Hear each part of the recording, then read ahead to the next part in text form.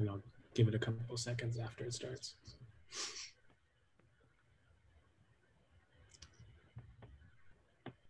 All right. I see people trickling in. Hello, everyone. All right, welcome to the Neuroblastoma Parent Global Symposium. My name is Kyle Matthews. I'm the Executive Director of the Beat Childhood Cancer Foundation, and I'll be moderating this session. Uh, this session is DFMO Studies at the Beat Childhood Cancer Research Consortium, and it's being delivered by a friend of mine, Dr. Javier Oesterheld, who is the Division Chief and Jeff Gordon Children's Foundation Endowed Chair of the Levine Children's Cancer and Blood Disorders Program at Levine Children's Hospital Atrium Health in Charlotte, North Carolina. Um, before I hand it over to Dr. Oesterheld, I do want to draw your attention to the Q&A button, which will be at the bottom of your screen. That's how you can submit questions during the session uh, for Dr. Oesterheld to address at the end. If the button's not showing up, you might need to kind of hover your cursor or tap, uh, and then you'll see those uh, buttons across the bottom. And the QA one is usually on the right. If you see a question in the Q&As that you like, you can give it a thumbs up to move it up the list. And uh, when Dr. Oesterheld is finished with the presentation, we'll be answering the ones that have the most thumbs up uh, sort of in that order. So that'll let us know if those are ones that you would like to see answered. Um, all right, with that, I'll hand it over to you, Dr. Oesterheld. Uh, thank you, Kyle. I really appreciate that.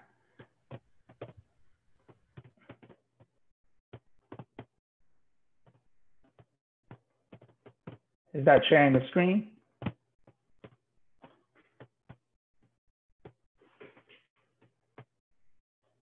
Hello? Uh, I did not see the screen yet, no. Okay.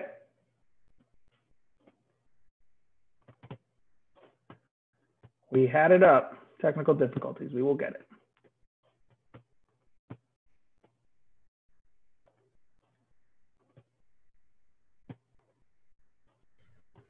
I think you just want to mouse over and hit that share screen button. It should be in green, at least on mine it is.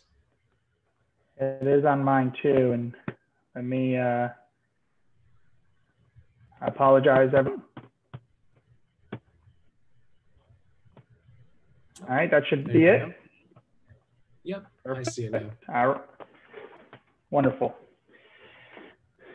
All right, thank you, everybody. I apologize for uh, that technical difficulty. Um, I just wanted to thank the organizers uh, for allowing me to speak on behalf of the Beat Childhood Cancer Research Consortium um, about DFMO treatment for high-risk neuroblastomas. Kyle so uh, eloquently introduced myself. I am a uh, uh, the division chief at Levine Children's Hospital in Charlotte, North Carolina. And since I am speaking to a few parents, um, I am the father of two boys, a 13-year-old and a 10-year-old. And um, a little bit about myself. I'm originally from Puerto Rico, been uh, married for almost 20 years now, and been down in uh, Charlotte, North Carolina for about 10 years. Um, really excited uh, to be able to give this lecture today.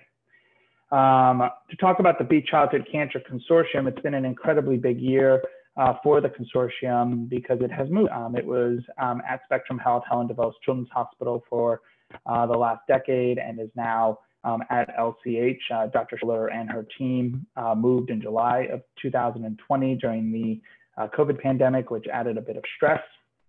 Um, as you can see there on the on the globe, it is uh, 42 hospitals in the United States, seven hospitals in Canada, and one hospital in Lebanon. Uh, this consortium has continued to go um, over the last really four or five years, really taking off and adding new studies and new members and uh, really delving into the science of neuroblastoma and some other uh, tumors that we take care of. Um, the new headquarters at Levine Children's ties itself with the Levine Cancer Institute, which is one of the larger cancer institutes in the Southeast. Um, allows us to have a little bit more bandwidth, obviously more patients with a um, improved international airport. We're incredibly excited um, to bring uh, the Sholler lab as well to um, Levine's and, and really going to talk a little bit about what we're going to be doing in that lab.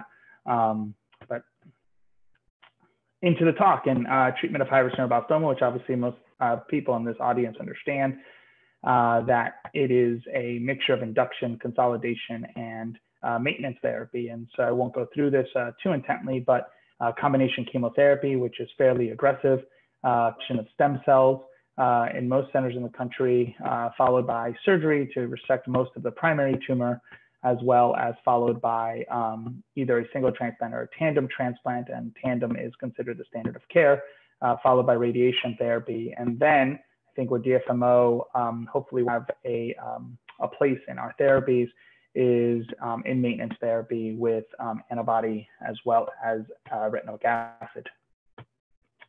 Uh, maintenance response, which uh, has been very well published um, from ANBL 0032, a COG study.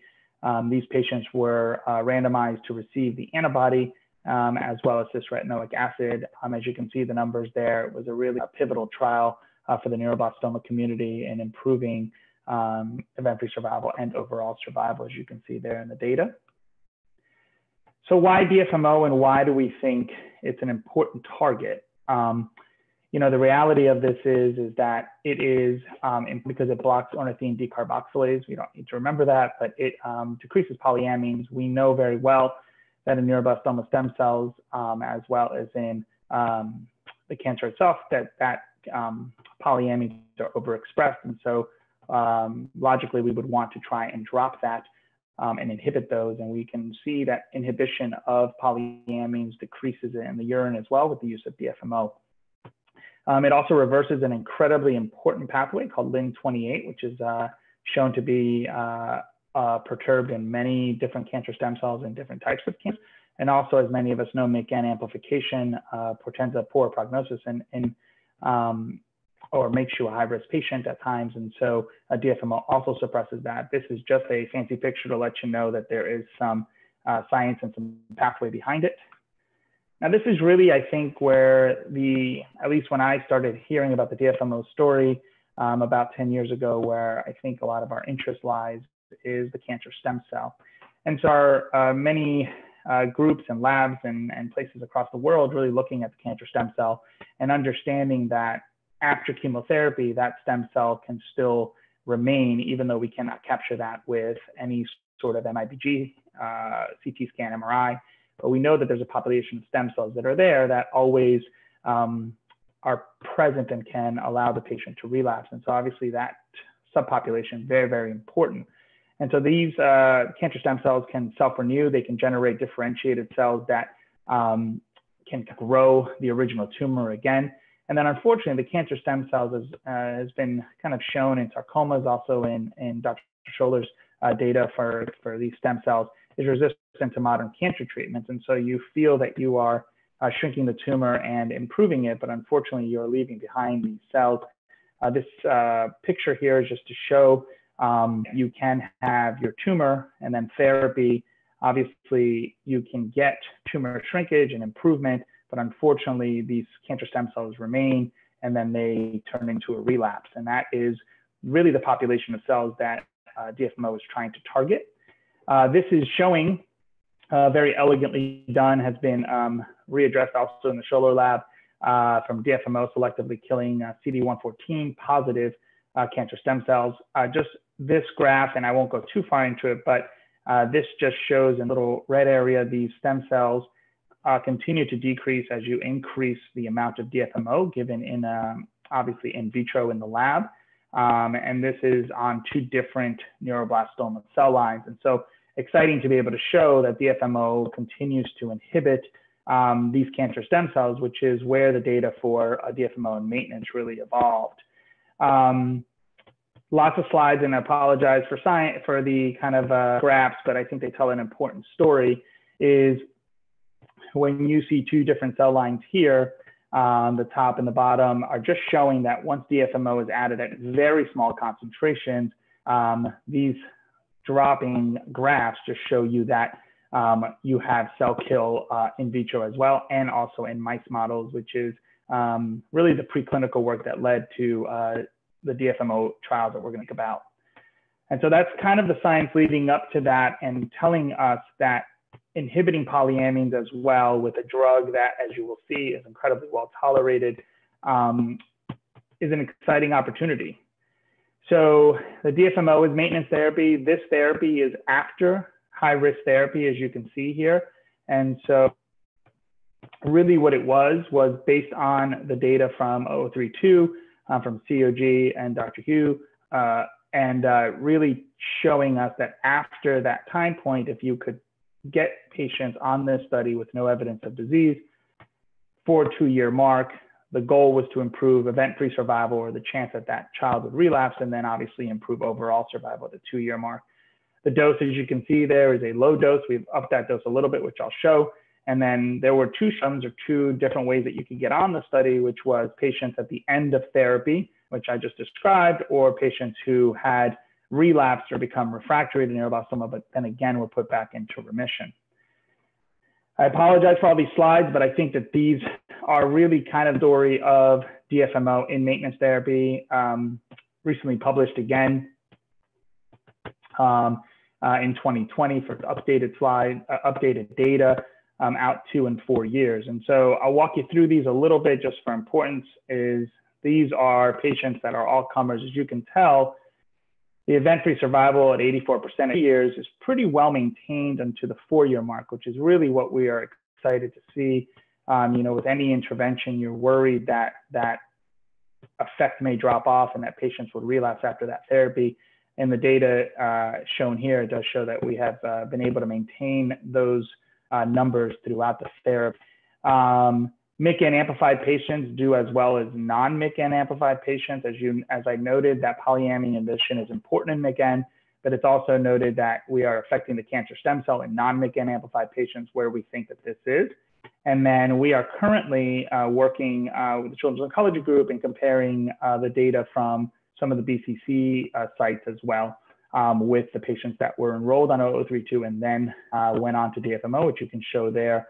The data seems um, about the same as well there in that population. So if you look at this, another slide, this one is very important because these are patients who had had their cancer come back and then uh, were started on DFMO. Obviously, these numbers, we would love to see them improved, but in patients that had relapse refractory neuroblastoma, uh, we've made a lot of headway. There have been uh, many clinical trials through the Children's Oncology Group as well as other, other groups and BCC included that have started to kind of improve that needle of patients who have relapsed or become refractory to uh, keep them alive um, and not relapse. And you can tell that DFMO in that patient population, again, being in remission going into DFMO, uh, still showed a 50 uh, percent two-year event-free survival and a little bit of a drop-off at the four-year mark, as you can see. Now, this is um, a really exciting uh, analysis that we the, that I just mentioned that we did publish, and this is uh, data showing uh, about 80 to 100 patients, depending on how you look at this data, um, treated with DFMO for maintenance therapy, um, as I mentioned. And this just shows again that the patients who did not receive DFMO and the patients who did receive DFMO do have a statistical significant change in their event-free survival as well as their survival, and you get those numbers there. Um, and obviously that is what has gotten us excited. Um, and so with that data, um, this is just another one showing uh, kind of a similar finding. Uh, patients on MYCN amplified, it's a little bit more dramatic in the MYCN amplified patients. Um, as you can see, the data there um, is a little bit higher. Now, this is where I think kind of primarily this talk really is important to get out there is uh, we have been granted, or BCC and uh, Dr. Sholler and a bunch of uh, people prior to Levine Children's Hospital were granted breakthrough therapy designation by the FDA in April of 2020. Uh, that's uh, incredibly important just because not many pediatric uh, drugs, especially for pediatric cancer, get to, to market. And so, as I mentioned, we are working to directly compare data to the COG data. And I think that that hopefully will show that there is a survival benefit. So important notes for parents and patients who do want to go on this study. Um, it is open to children at the completion of antibody therapy. Um, the prior study was up to 120 days. Uh, now we have changed that. There's some data showing that uh, the faster you start it, the better those patients will do. The initial arm, as I showed, did show um, lower doses. We have changed that dose uh, to a little bit of a higher dose, as you can see there, still with limited side effects. And that is currently enrolling at all uh, Beat Childhood Cancer sites. Um, so I think uh, most important, what are the common questions for DFMO? And uh, I have, uh, I should have shared that, but I have enrolled uh, probably around 20 to 25 patients prior to uh, BCC uh, being our, at our institution. Um, it is an incredibly well tolerated drug. Patients really have very minimal side effects. It is it's a pill that's taken twice a day uh, for up to two years. Um, it can be crushed and combined in water, apple juice, lemonade, pudding, yogurt, anything but orange juice, and is um, a little bit of a table of things that we cannot, should not, or you should eat in uh, minimal amounts when you are on DFMO. It can be given by the NG or the G tube. And really, honestly, the most common side effects for the patients that have been taking it is uh, either hair kind of arrest, meaning that their hair does not grow or that it thins a little bit. Um, uh, significant alopecia or hair loss has not been noted all of that much, but it does uh, improve once you stop the drug, which I think what makes this drug great is that once you actually stop the drug, all of the side effects go away. Um, diarrhea in the first few weeks to month um, definitely happens, and uh, not in all patients, but that was fairly quickly. And then really what um, concerns many people at higher doses of DFMO is hearing loss. Um, that is reversible. Um, and in comparison to some of the platinum drugs that neuroblastoma patients go, this is not just in high frequency, it's across all levels and the speech can be affected. So we take that incredibly seriously and check hearing a lot during the studies. Um, but it is incredible, it is uh, immediately reversible after you hold the dose. And if you um, drop the dose as well, uh, that hearing loss usually does not come back. And so of note uh, that's not noted here, just in my own experience, I've noted a little bit of runny nose um, that kind of starts a couple weeks after you start the doses um, and kind of persists throughout it. And so from a hearing perspective, we always want to make sure that it's not um, fluid in your ear, but it is really hearing loss. Uh, so DFMO maintenance for relapse refractory neuroblastoma, a very important population, which I think anyone who takes care of neuroblastoma is trying to attack in many different ways. Um, this study um, is built on a phase one study that was done a while ago now with um, combination of DFMO with etoposide at standard dose there, 50 milligrams per meter squared. Um, in the original phase one um, study, there were 16 patients treated um, and three actually have a CR uh, or are fully in remission off of that study, which prompted the phase two study. Um, pretty impressive for a phase one study. And so as you can see here, we will be giving DFMO for two years and then the etoposide only for six months. Um, these are answering important questions for patients who have had refractory, um, I apologize, uh, refractory um, neuroblastoma um, and patients who, unfortunately, about 17 to 20% of patients in, in upfront therapy will have uh, refractory disease or progressive disease. And then arm two is patients who have previously relapsed and show no active disease at all, which is great. Um, and then arm three is subjects who still have disease but are uh, with minimal act or minimally active disease. So this is a, a, study prior to the arrival at Levine Children's Hospital, and I think this is, you know, an important question. It's difficult to answer, um, but as I mentioned, a lot of patients unfortunately fail upfront therapy, and you know um, there are lots of opportunities to try. it. COG is trying some different modalities as well to try and get this uh, there. And the Beat Childhood Cancer Consortium, um, this is open at a few of their sites where where it's been trying to target the, the patient uh, tumor exactly, looking for specific uh, genetic alterations of the tumor and so as you start your therapy, you get your first two cycles of induction, and then we add a targeted agent depending on um, the biopsy that we did up front, uh, evaluating a precision medicine strategy. And really the question was, can we do better, obviously, and is it safe and feasible? And so uh, the first 20 patients have been evaluated with uh, no serious adverse with the addition of these, uh, a smattering of these four agents.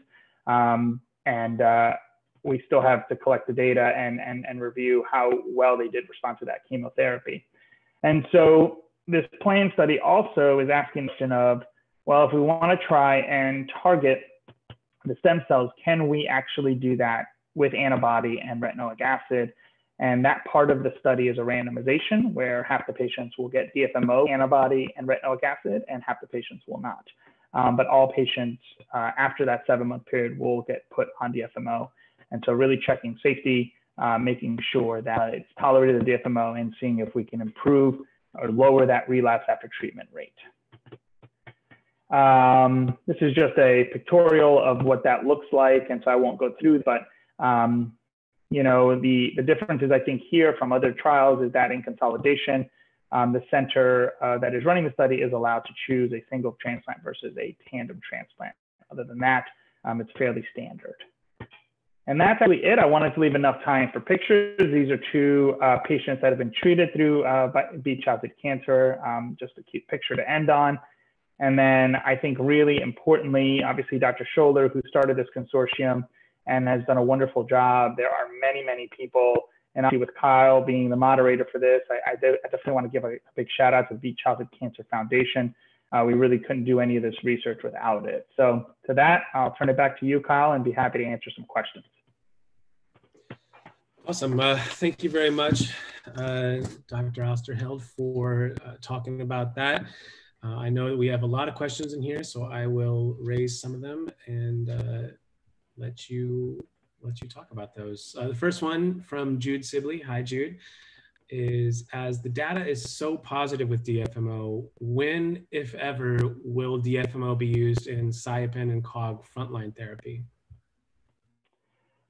That's a wonderful question. I mean, I, I think right now, um, the data, we have really checked that to check it in upfront therapy. I think that with most drugs, you try it in the relapse setting when it comes back. You also try it in a setting where uh, the standard of care has been attempted and you're trying to improve upon that. I think if the data continues to uh, look as good as it does and really important is to make sure that it keeps going. So the two year mark, the four year mark, the five year mark, and make sure that that data looks great. And at that point, I think we would uh, strongly consider running some clinical trials um, to bring it to the upfront. And as, as many of you know, the COG has embarked on a very, very big study, which will take a while to complete with bringing MIBG up front, ALK positivity, and it's a, it's a really good trial uh, for high-risk neuroblastoma patients. So obviously, um, we would like that trial to complete and see what that data looks like before we would ever do that. Um, Christina wonders, would you recommend DFMO maintenance for an NMYC non-amplified child that has no evidence of disease? Is there any benefit for non-NMYC patients? Yeah, and I, I, may have blown through that side, but I, I, we definitely are noting that even in our NMYC non-amplified patients, a very popular question since when you look at the DFMO, it is about MYC amplified patients and polyamine inhibition, though it does attack the cancer stem cells. So we do think there is value in non-amplified patients. I can speak for for the many patients that I have put on, they're probably about 50 50 uh, NMYC amplified and NMYC non amplified, and have um, had some success with that even in the relapse setting with non MYC uh, amplified patients. So, yes, the answer is I would recommend DFMO population. Okay, great. Um, could you uh, just real quick stop sharing your screen so that we get to see you? Oh, yeah. Um, My apologies. No, no, no, that's great. Everybody likes to see more of your face. All right, I, I'm going to try and do this and not screw it up. yeah, don't leave the the uh, meeting. Um, I'll wait on that. Hold on. I don't know why it's not. Let me get out of my. Ah, uh, there we go. Did I stop sharing? Yeah. Perfect. Yeah, we, we see you a little bit better now. Okay. Um, someone has asked, many of the parents are struggling with maintenance therapy choices. I know between uh, Sloan's vaccine and, and DFMO, those seem to be the two popular ones. They said, is there any way that BCC and Sloan could work together uh, on some kind of combined trial? I, I think that's a interesting question. Yeah, it's a, it's a really hard question to answer. I think we, I think all of us in the pediatric oncology community work incredibly well together. Everyone has got their kind of opinions on what's going to work and what's not. And I've had patients, um, to be very honest, I uh, believe in the informed consent process. And so I offer everything at the end of maintenance. And so that includes uh, the Sloan Kettering vaccine. I've had many patients choose that and have done very, very well on it. Um, and so right now, just because it is hard to interpret the data with both drugs being given or patients being given. We have chosen to just give DFMO or just give vaccine. In the past, we did at BCC allow after vaccine to go on DFMO, but I think um, that limits some of that, the potential of, of knowing what works in that setting. I think my opinion on that is I do think that maintenance is important for neuroblastoma. And so I think many families that wrestle with the choice, I think um, I always practice the way that I would if it were one of my children. And I think that I would feel strongly that one of my, uh, if, if that were to happen, I would want maintenance therapy. I hope that answers it. I think we do work together. I think as the you know science comes out, I think we're all excited about some of the things that Phone is doing, the BCC is doing, C is doing. I think at some point all those hopefully will be combined, but it is nice to have options. Makes sense. Um, Vicky wants to know, how do you know if the patients who received DFMO may have been the patients who have would have done well regardless? Um, especially now with the fact that children are receiving immunotherapy as part of the first consolidation. Yeah, it's a, it's a fantastic question, which is asked a, a lot actually, and I think it's an important question to answer. And so, you know, we have two data sets um, that we're looking at. So we look at all of the patients treated with high-risk neuroblastoma in the Beat, Beat Childhood Cancer Consortium. So that's called the historical data for BCC, as well as looking at some of the data for the Children's Oncology Group 0032 study, which is the landmark study for COG currently. And so I think looking at that information to make sure that you are not uh, teasing out the good responders that got DFMO that did better, but putting all patients together. When we do that, looking at the data specifically for the FDA, it is continuously showing that there is a about 10 to 15% improvement uh, with patients after uh, consolidation uh, or immunotherapy. And so we, we believe that we are trying to answer that question statistically. It's a very difficult statistical question to answer, um, but we've got really smart people on it, and um, the FDA really um, pushes you to really look at your data clearly. And we're working with the COG to see what their data looks like in comparison to those patients that were treated with the DFMO with COG. And so that collaboration is ongoing currently. Okay, thanks. Um, Spiros asks, how critical are the nutritional restrictions during maintenance? Uh, do the banned foods interfere with the drug's efficacy? Uh, yeah, it, it, it's kind of interesting. Um, everyone has a little bit of a different take on that that treats these children. I think uh, the big one is not to give it in the restricted liquids. So orange juice being the one that give it there, it doesn't work very well. We know that. I think uh, it's really hard. Most of these patients are three, four, five years old, and so some of these things are bananas and and simple things like that. And so, I think uh, it is doing things in moderation, like everything in life. And so, I think that it's not a one size fits all. There are families who completely take away all foods. I think that's probably not needed. Um, but I wouldn't eat the restricted foods every every day, if that makes sense. And so I tell our patients that you can have things in moderation, but definitely do not put it in orange juice. But all docs that put patients on DFMO, I think, have a little differing opinions on that. And so some are a little bit more strict than others.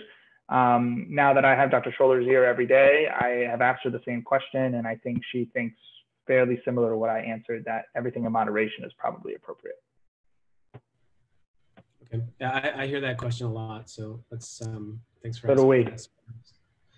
Um, Carrie says they're scheduled to start DFMO at the end of the month. And if patients are not completely in remission, are there still options to enroll in the study? Um, after up, is that after upfront therapy? I apologize. Um, she doesn't say, she just says. Yeah. If, yeah, if you have, if, yeah, there is an arm on, on the DFMO that would be with etoposide uh, for patients with disease right now. Uh, we are not giving single agent DFMO, but we are adding etoposide to that. That's the newest trial that's come out of the consortium. But yes, there is um, that that patient would have an avenue to getting DFMO currently with the BCC trial. Um, great. Uh, then another one here is the dose escalation to 25 milligrams also for patients who are in remission before starting immunotherapy according to the trial site, these patients will enroll to a different stratum. Uh, yeah, so that, that, that dose escalation is going to be, so patients who are, have no evidence of disease will still be at the thousand and the increased, um, that only population will be at a thousand. Every other patient will be at the 2,500 per meter squared. Um, one person wonders what happens after two years. How is the ODC1 pathway blocked after that? Why two years? You broke up a little bit there, but I think the question was what happens after two years? Right. Why is it two years? They, they say, how is the ODC1 pathway?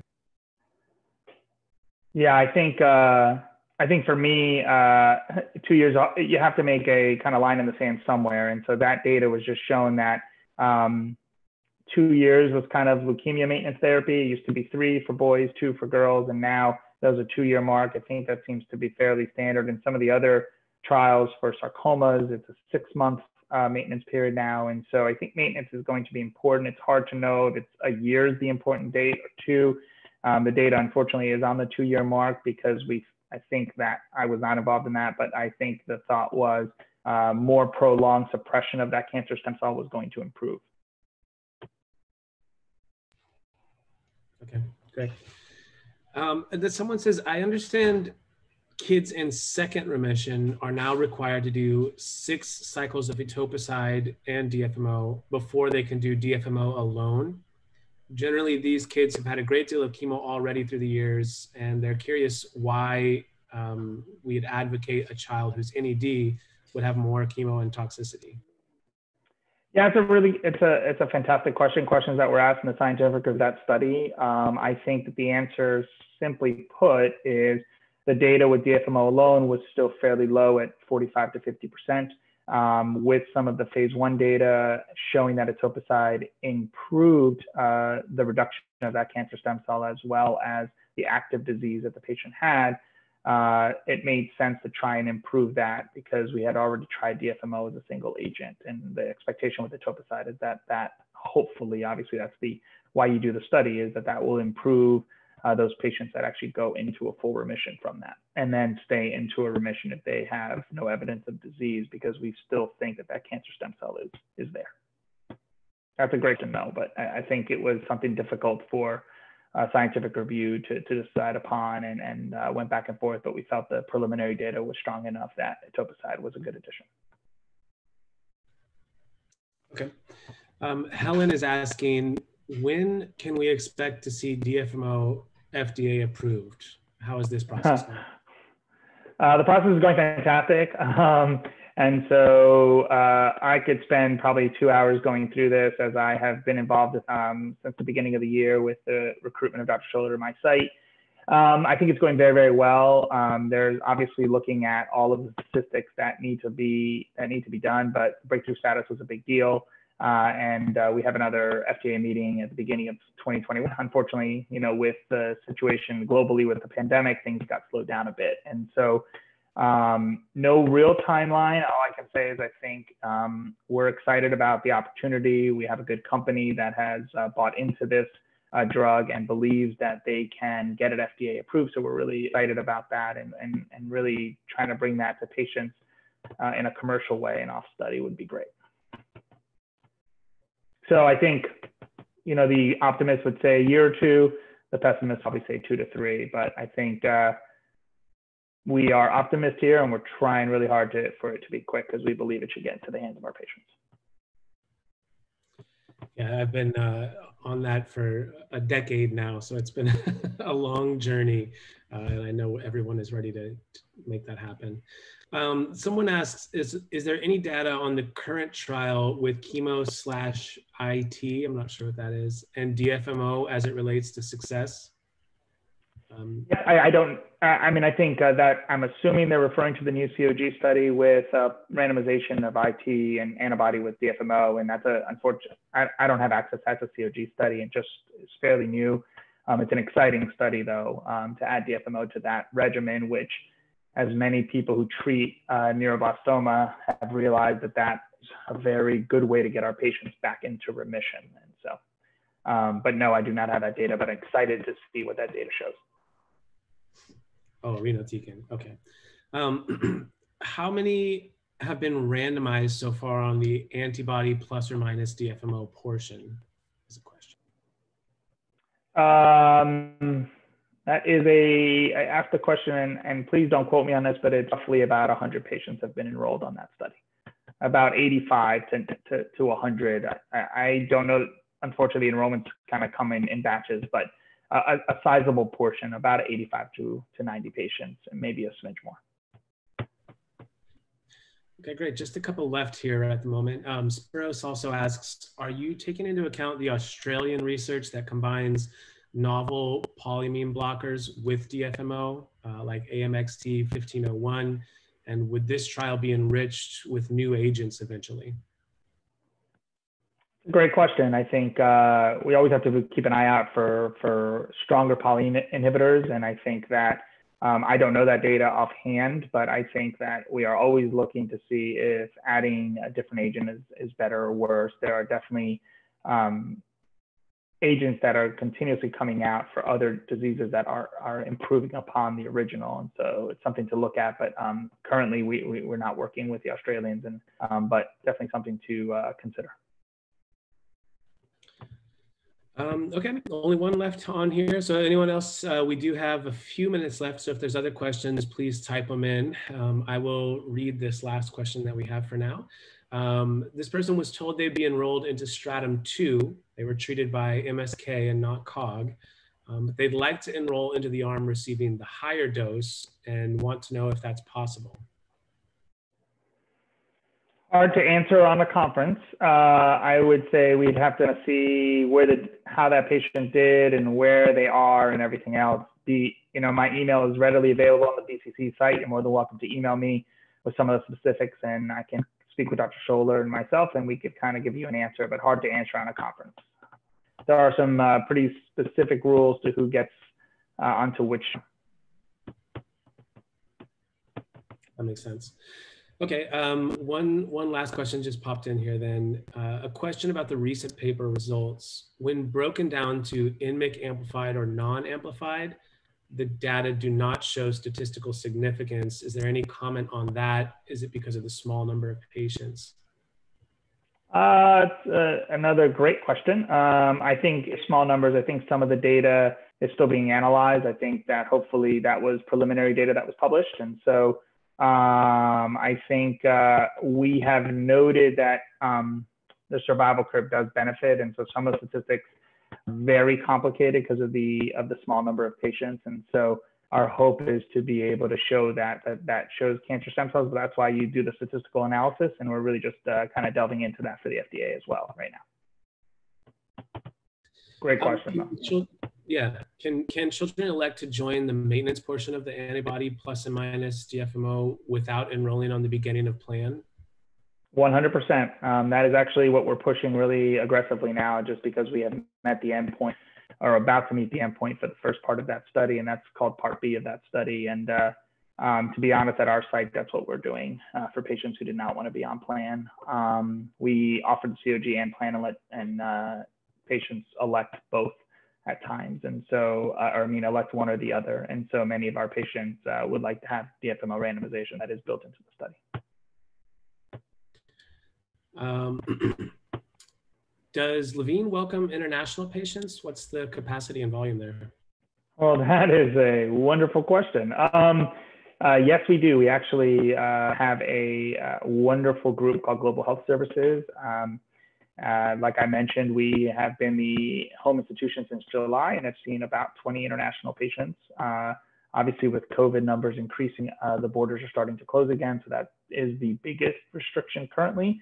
Uh, once that restriction is lifted, we do not have any of that. We have seen patients from uh, Singapore, Hong Kong, um, Australia, South Africa, um, UK uh, so far. First, you know, six months of, of, of housing the um, uh, the consortium. So we're really excited about that. Global Health is wonderful. They work with our families to make sure that uh, the finances are set, that uh, patients are um, brought to our institution, have concierge services. They will pick you up at the airport. They will bring you to our clinic.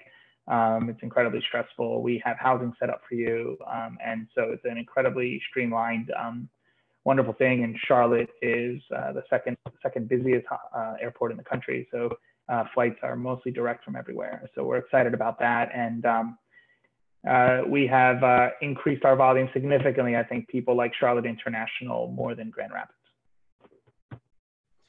I know it's easier for me to get there. That was that um, was a joke for all the all the Grand Rapids people. We love Grand Rapids, but easier to get to Charlotte. That's true. Uh, this is an interesting one from Laura. Why, in your opinion, are international specialists skeptical of DFMO?